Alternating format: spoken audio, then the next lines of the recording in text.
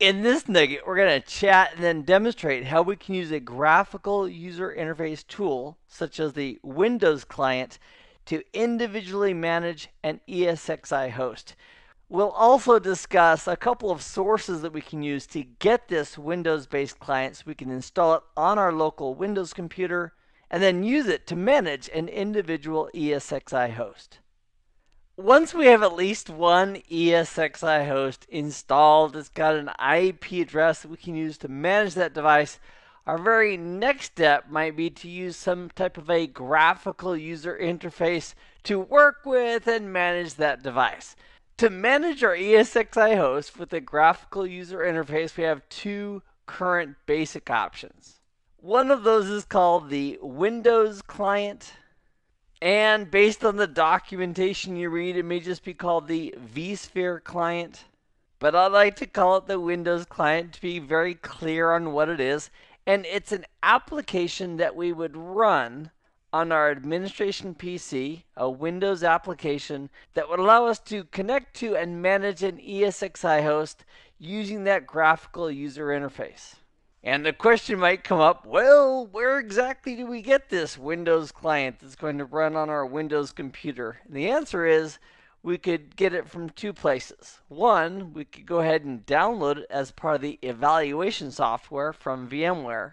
Or secondly, once an ESXi host is up and running and reachable on the network, we can open up a browser, connect to the ESXi host, that'll give us a link that we can click on, and that will allow us to download the application to our computer and then install it on our local PC. And then at that point, on the admin PC, we would launch the vSphere client, which I like to call the Windows client. And in the dialog box, we'd tell it exactly what IP address we want to go ahead and connect to regarding which ESXi host. We would put in our username and our password.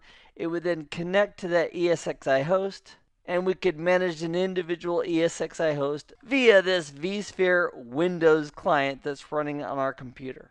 Now, one of the challenges of using this Windows client to manage an individual ESXi host is that what if we have 10 or 20 or 30 ESXi hosts? It doesn't scale very well to have a management tool that allows us to manage a single host at a time. And to solve that problem, VMware does have an enterprise wide tool that we can use to manage our vSphere environment, and it is called the vSphere Web Client. And with the vSphere Web Client, let me give you the ingredients that go into that. Before we can use the vSphere Web Client, we have to have a vCenter server, which is the enterprise manager that interfaces directly with all the ESXi hosts. So if this is ESXi1, and we also have ESXi2 and ESXi3 and ESXi4. We would deploy a vCenter server and then we would associate this vCenter server with each of those ESXi hosts.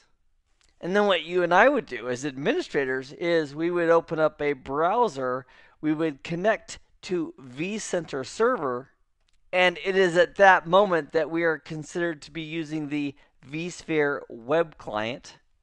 So anytime we see vSphere web client, I'd like you to think, oh, we're using the web-based interface to manage through the vCenter server.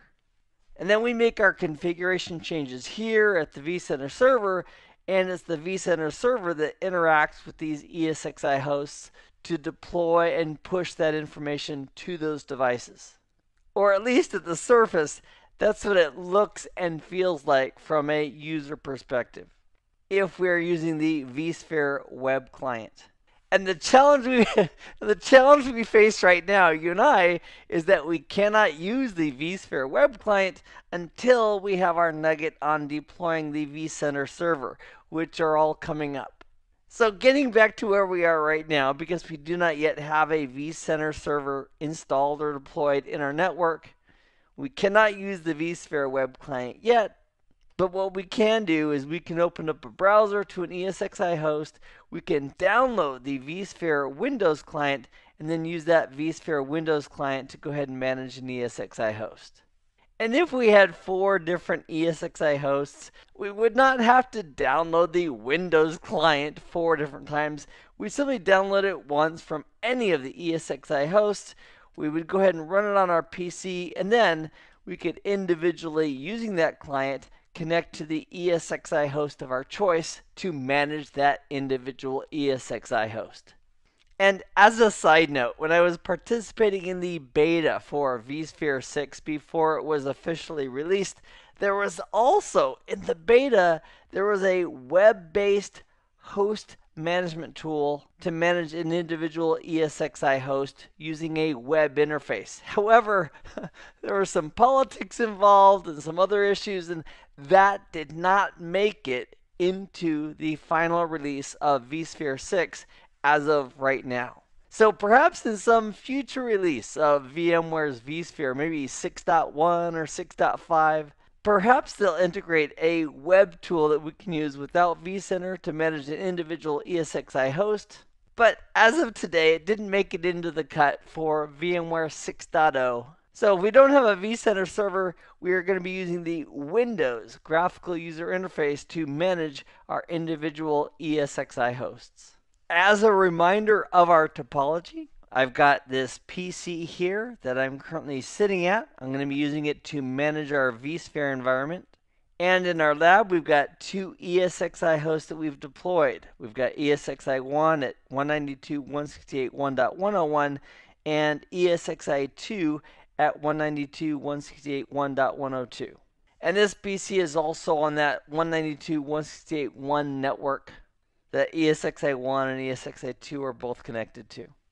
So what we'll do is on this PC, we'll go ahead and open up a browser to the IP address of either ESXi1 or ESXi2. We'll go to .101 for the demo. We'll download the client, have it installed on this PC, and then use that Windows client to go ahead and manage either ESXi1 or ESXi2, depending on which one we want to manage. Now, here from a browser, I'm going to go to https colon whack whack esxi-1.nuglab.local. Now, if DNS name resolution is working, or if I have a host file that has that entry in it, that should take me to the IP address of 192.168.1.101. And this is also just a good check to verify that DNS resolution is working correctly from this PC in our VMware environment. Now, what we could also do is we could also just go to https colon whack whack and then the IP address 192.168.1.101 and that would also work.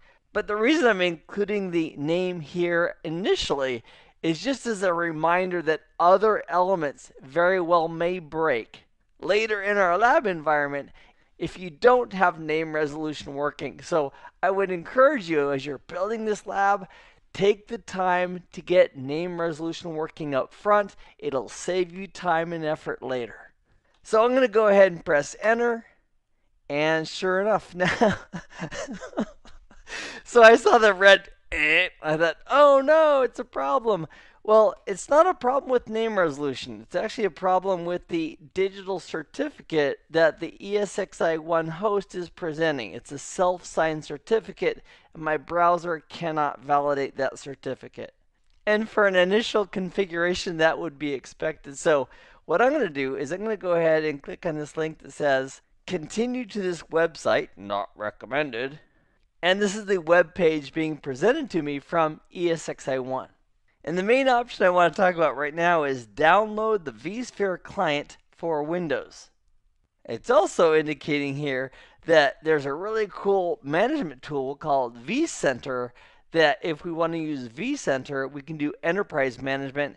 And if we click on the link for download VMware vCenter, that'll take us up to VMware's website where we can download the actual vCenter itself. And if you've already signed up for an evaluation of vSphere, including the management piece, it's likely you've already downloaded the vCenter server software, either for Windows or the vCenter server appliance, both of which are included in the evaluation of vSphere. So we'll have a separate nugget on vCenter for now. We're going to click on this link to download the vSphere client for Windows. Then I've got a little pop-up down here from my browser saying, hey, do you want to run or save this file called VMware-VI client, etc., etc., etc. So in my case, I'm going to click on save, and that is now downloaded. Now, the reason that this is actually indicating there's a parentheses one here is because I already had downloaded that previously, and it was a second download that it was trying to do just now. So once that's downloaded, we go to our downloads folder and we'd simply run the install, and that would install the vSphere client for Windows. So here's the Windows client in the title bar of this application. They call it the VMware vSphere client. What we're going to do from our PC is we'll go ahead and connect over to .101, 192.168.1.101. We'll use the root user and we'll put in the password of nugget bang23. And then from our PC, we'll be using the Windows client to manage that individual ESXi host. So we'll put in the IP address of 192.168.1.101, we'll put in the user of root, and we'll put in our password. And with that all supplied, we'll click Login. And if you're connecting for the very first time to this device, it's very likely you're going to get some messages regarding, hey, this is involving a certificate that I can't verify, says your computer. And again, that's because the self-signed certificate of the ESXi host that is presenting. So you can choose to install the certificate or ignore it. And then after you've accepted these certificate messages that have come up, I've got an evaluation notice saying, hey, your evaluation license will expire within 60 days. You know what that means to you and I? Let's get busy. Let's get everything done as part of these nuggets and building these labs and practicing with the techniques in vSphere, and let's do it all within 60 days. And that way we can get all of our practice done before the evaluations expire. Another really cool feature I want to share with you is VMUG Advantage. VMUG is an acronym stands for VMware User Group, and it's absolutely fantastic. They have great meetings all over the country, and it's a great community.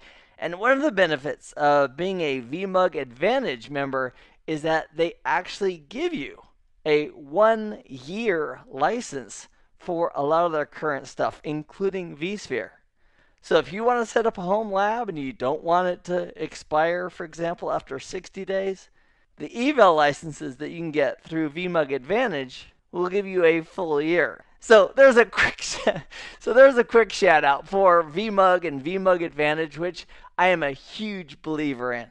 And for all of the leaders inside of VMUG who spend a lot of their own time in setting up meetings and training sessions for members of VMUG, I want to give my personal thanks for all that time and effort because it has made a difference for me, and I am very, very grateful. Keep up the great work. So we'll click on OK for the evaluation notice. And then this is the interface that we could use to manage this ESXi host. And if you come across videos and demonstrations from several years ago, they're all going to look similar to this. Because this was the look and feel previous to the web vSphere client, which involves vCenter Server as a centralized management point for vSphere. So if we go across the tabs, here's a summary tab. And here's a list of all of our virtual machines at the moment. This ESXi host has no virtual machines that are running on it. Here's a tab for the performance of this ESXi host. Here's a tab for configuration. So for example, if we go down to network adapters, we should have 10 network adapters. I'm going to click on this column to sort based on this column, and there they are, adapter 0 through 9, which is a total of 10 adapters. And we're going to very rarely be using the Windows client because after we have a vCenter server deployed, we'll be using the vSphere web client in conjunction with that vCenter server to manage all of our ESXi hosts. And it just occurred to me, I want to verify that I'm running the version 6.x of the Windows client and not the older 5.5, which I also have on the system. Let me go to Help and that can help us verify that information. We'll click on About VMware vSphere, and here it's indicating that indeed we are running the version 6 flavor of the Windows client. and we're connected to an ESXi host that is also running version 6. In this nugget, we've discussed and demonstrated how we can manage an ESXi host using a graphical user interface tool, specifically the Windows client. And to get that client, we can get it in two basic ways. We can download it as part of our evaluation from VMware from VMware's website, or we can download that Windows client directly from an ESXi host. It is, my friend, quiz time. Question number one When should you use the Windows client? Hmm, when should you do that? And the short answer is if you do not have vCenter Server for enterprise management, which uses the vSphere web client, then currently, at least as of today, our only other option for a graphical user interface for managing an ESXi host would be using the Windows client. So we use the Windows client when we don't have a vCenter server available for use. Question number two Where can you get the Windows client? And I'm thinking about two specific options that are available for getting that client down to your computer. And the answer to that is in the previous 60 seconds of the nugget that we just finished. The last question is what do you do if you have a Linux management PC, meaning you want to manage an individual ESXi host? You don't have vCenter, so you can't use the VMware web client. What do you do? And the answer is you need to get Windows. And that could be done through a separate physical machine, or you can virtualize a machine. For example, on Linux, you can run VMware Workstation. Or if you're on a Macintosh, you can run VMware Fusion and then use a Windows machine from that virtualized environment to run the Windows client that you could then use to manage an ESXi host. And as I mentioned, there was in the beta a web based client that could be used to manage an individual ESXi host. It got cut from the final release, but I strongly suspect that it will make it back into one of the future releases. So in the future, you can manage an individual ESXi host from the type of client that you're currently sitting at. It won't have to be Windows. Your action item, my friend, is to get the Windows client installed on your management computer. So that could be the host that you're using to run VMware Workstation, or it could be a separate computer that you're going to be using to connect to and manage your VMware environment. And even though the Windows client will not be the primary tool that we're going to be using to manage our environment, it's always nice to have it available to verify you can get to an ESXi host to check on or manage that individual device should the need arise. So thanks for joining me for this nugget. I hope this has been informative for you, and I'd like to thank you for viewing.